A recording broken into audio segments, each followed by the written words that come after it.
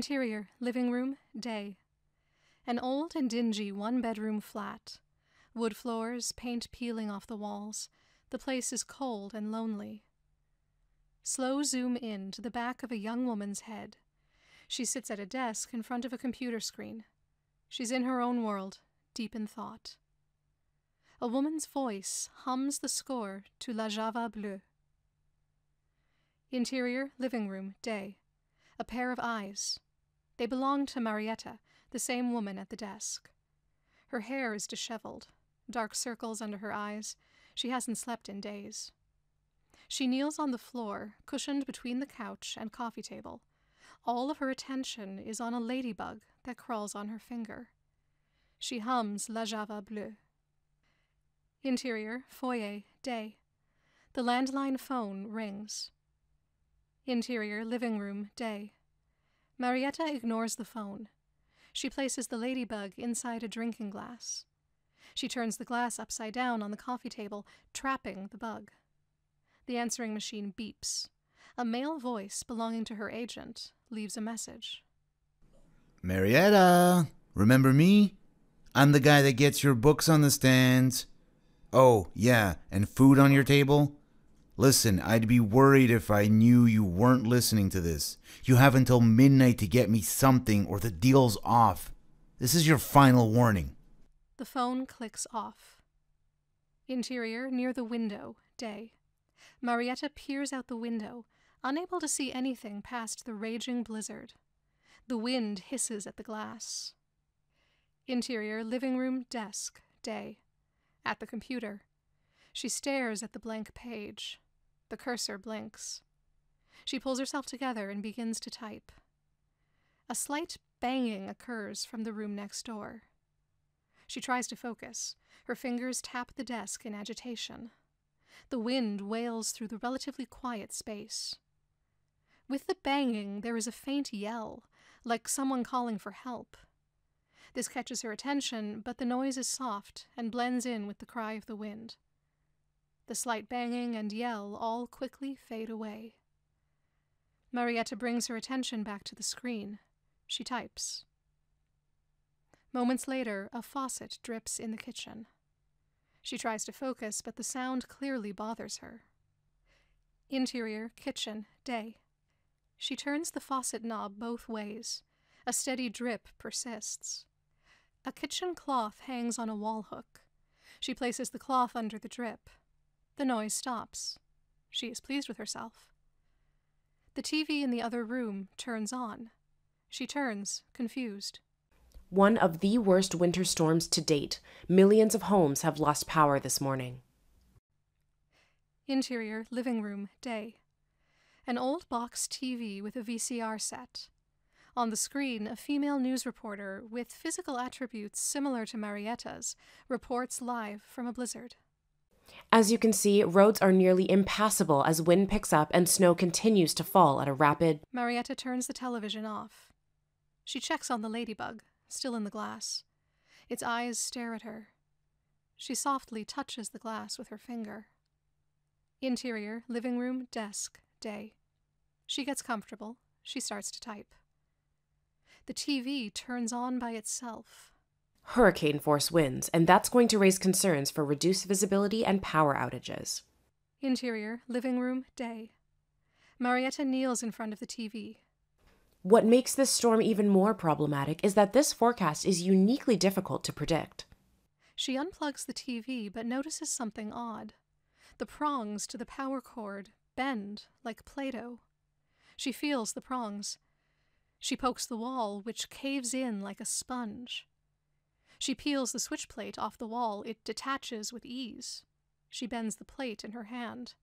The material like dough. Interior, living room, day. With a butter knife, Marieta scrapes the wall. The spongy substance peels off, but the wall has a mind of its own, instantly repairing itself. She digs at the wall, harder and faster. In the heat of the moment, she nicks her finger. A drop of blood spills from the cut. The kitchen faucet drips.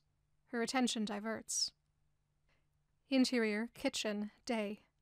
She is shocked to find that the cloth is back on the hook. She touches the cloth. She laughs a little, thinking she's losing her mind. Interior, bathroom, day. She pulls a bandage around her cut. She opens the mirror medicine cabinet and takes out a prescription pill bottle. She shuts the cabinet and sees her tired reflection. She doesn't look long. She twists the bottle open and takes a pill. Interior, kitchen, day. She pulls a greasy pizza box out from the refrigerator. Interior, living room, day. She lounges on the couch. Pizza box in front. Inside the drinking glass, the ladybug twitches its antennas. Marieta takes a bite from a slice and spits the food out. She is stunned to see the pizza is a weird clay substance. Interior, kitchen, day.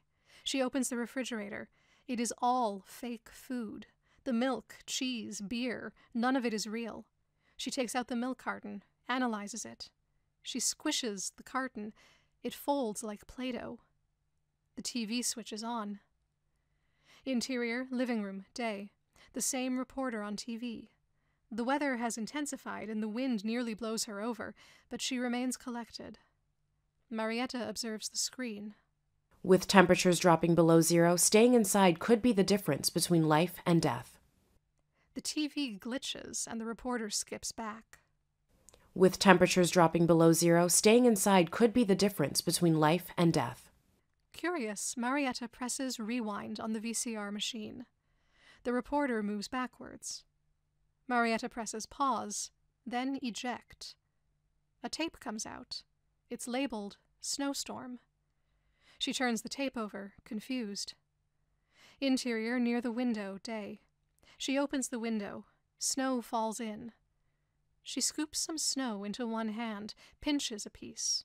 The snow is rubber. The same banging noise from the other room starts again. She grabs a baseball bat from the corner, ready to fight. Interior, long hallway, day. She closes the door behind her. Door number 333. The hallway is dark and eerie. Rooms on both sides. The wood floors creak underneath her steps. She cautiously lingers to her neighbor's door. She knocks. No response. She knocks harder. Nothing.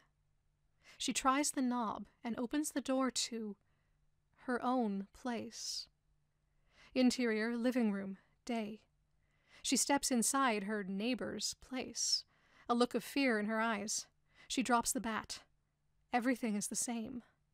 The ladybug flies around in the drinking glass. She moves toward the TV, notices something.